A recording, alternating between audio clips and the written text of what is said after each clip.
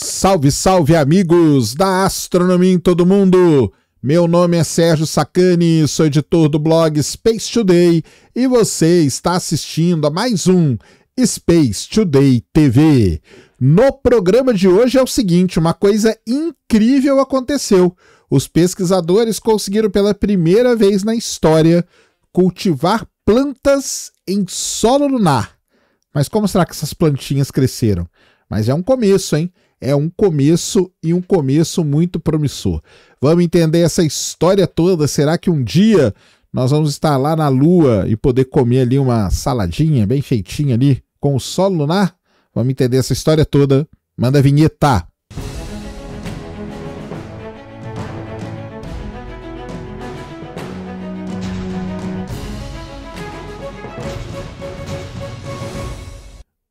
Muito bem, pessoal, vídeo novo aqui no canal. Antes do vídeo começar, você já desce aí, já deixa o seu like, já se inscreve no canal para você não esquecer durante o vídeo e para ajudar a causa da divulgação científica no Brasil. Já passamos a barreira dos 500 mil reais lá no catarse.me barra Space Today Plus.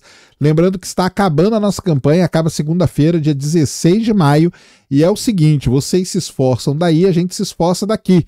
E o nosso esforço foi antecipar uma meta expandida. Então é o seguinte: se o Special Day Plus bater 600 mil reais, nós vamos criar o primeiro documentário do Special Day Plus. Então, ajude a gente a bater essa meta expandida aí.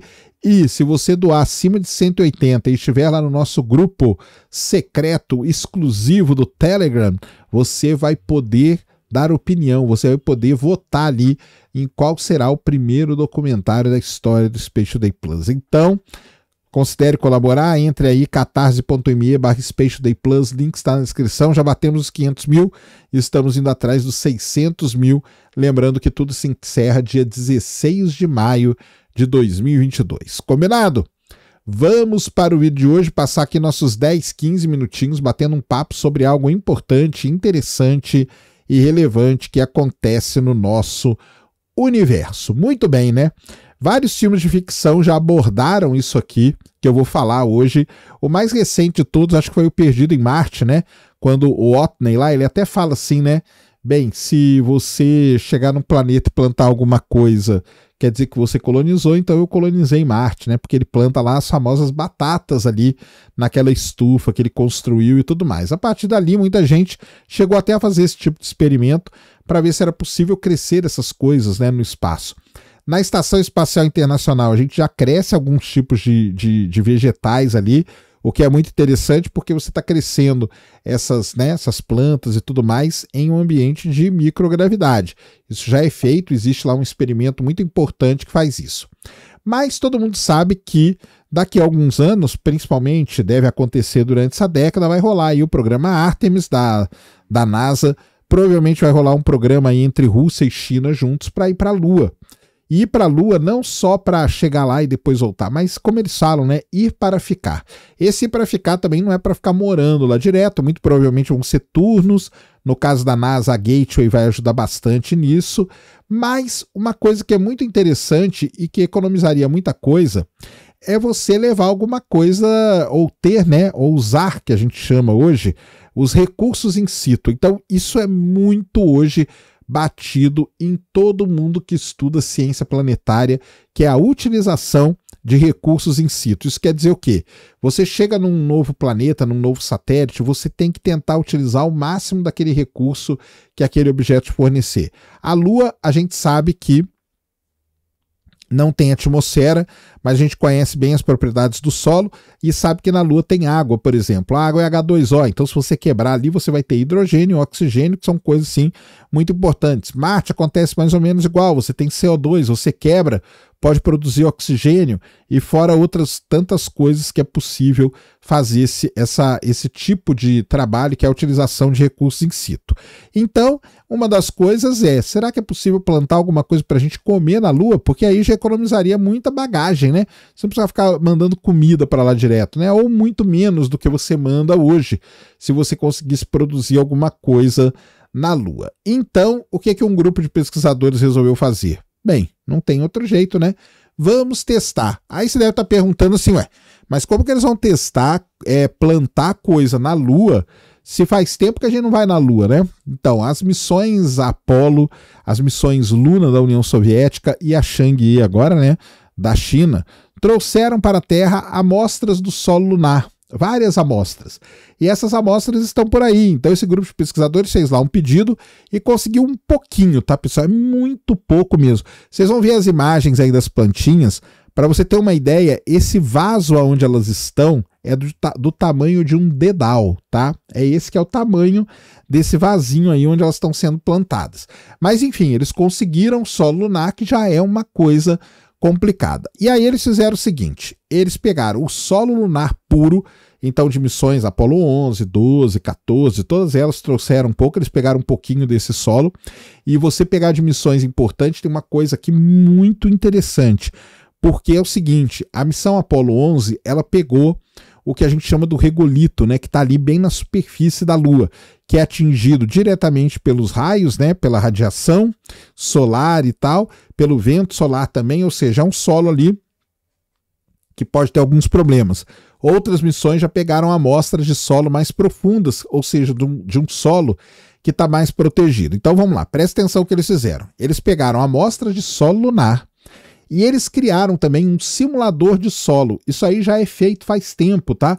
Então o pessoal já fez isso com Marte, já fez isso com a própria Lua e também plantaram aqui na Terra em situações extremas para poder ver o que, que ia acontecer com essas plantinhas aí que eles chegaram a plantar. E olha que incrível que aconteceu.